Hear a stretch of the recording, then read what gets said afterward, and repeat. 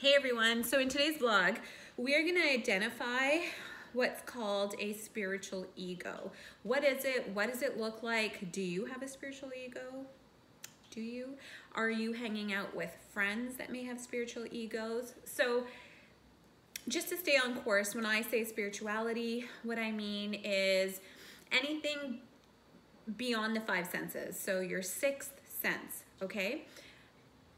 Intuition, for example. Now, if you're in the spiritual game, you're probably looking at the world as an observer. You're, you may have come to a place where you're questioning, questioning reality more. Like, what's real? What's truth?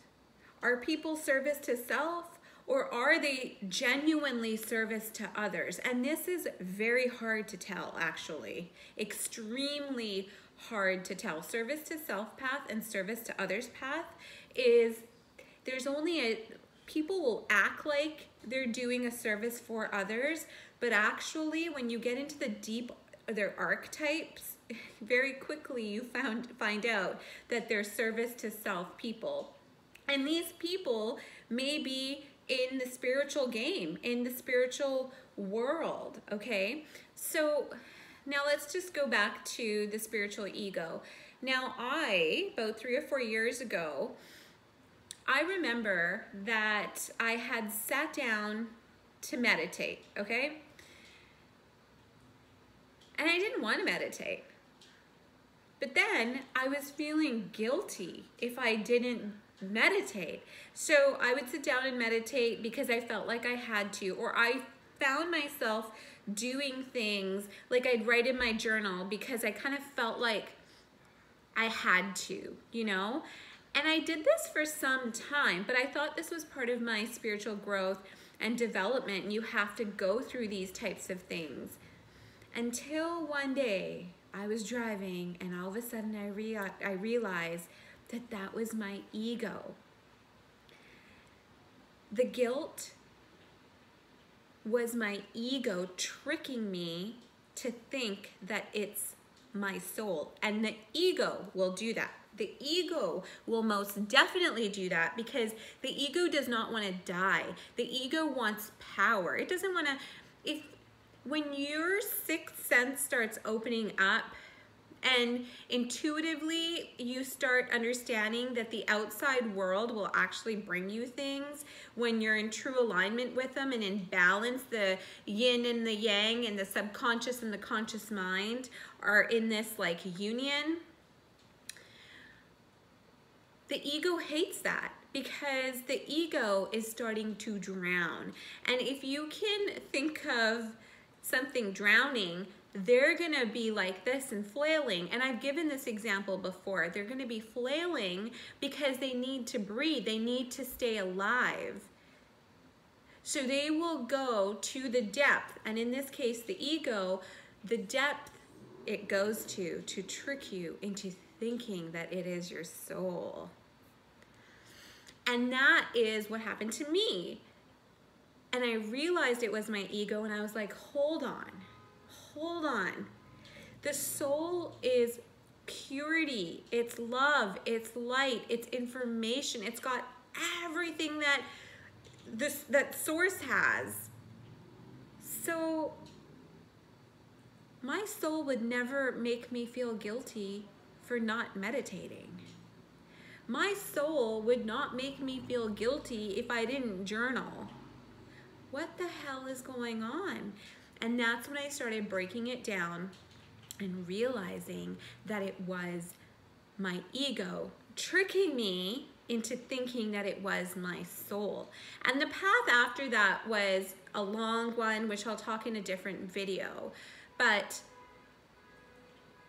this is, I mean, it happens and it happens a lot. And the way I, the reason I wanted to do this vlog today is because I'm seeing it more and more in other people. So I have started identifying, I've started identifying um, spiritual egos within, within people that I hang out with. And what I'm coming to realize is that when people become argumentative because you know if you're talking about a spiritual topic and there's there's obviously they're not resonating with it and they're they become argumentative with with you and start asserting their ideas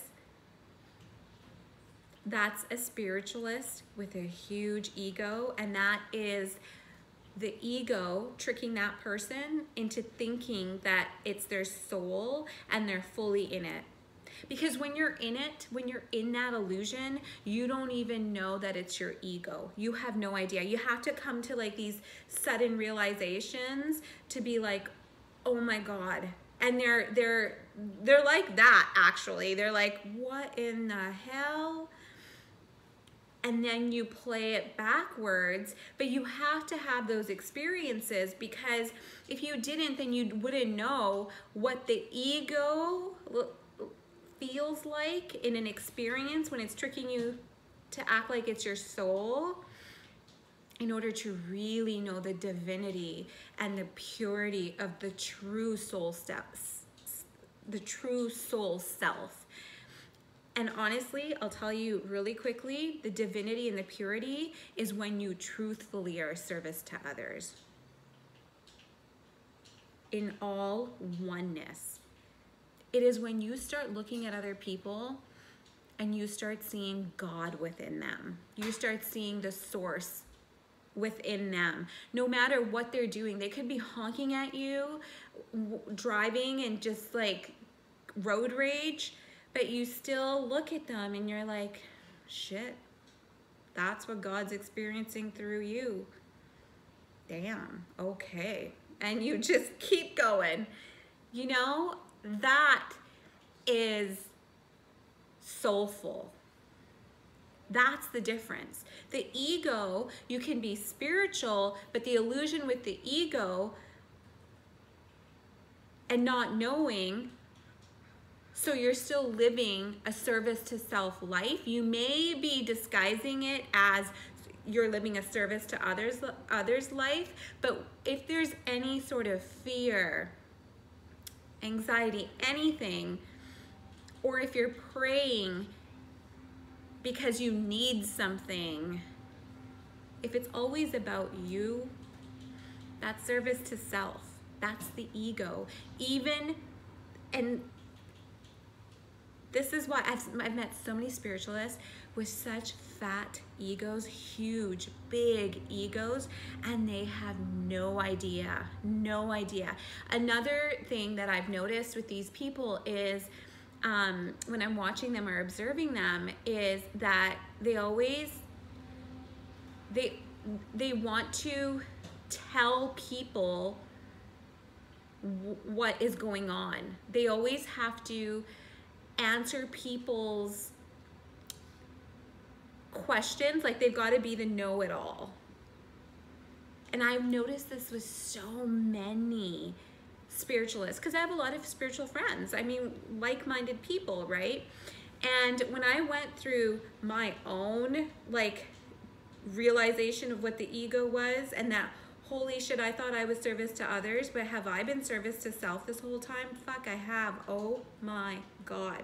And then going through this whole unraveling once again, and then leveling up the rung up to heaven, right? Getting up one more rung and truthfully living a service to others type of life.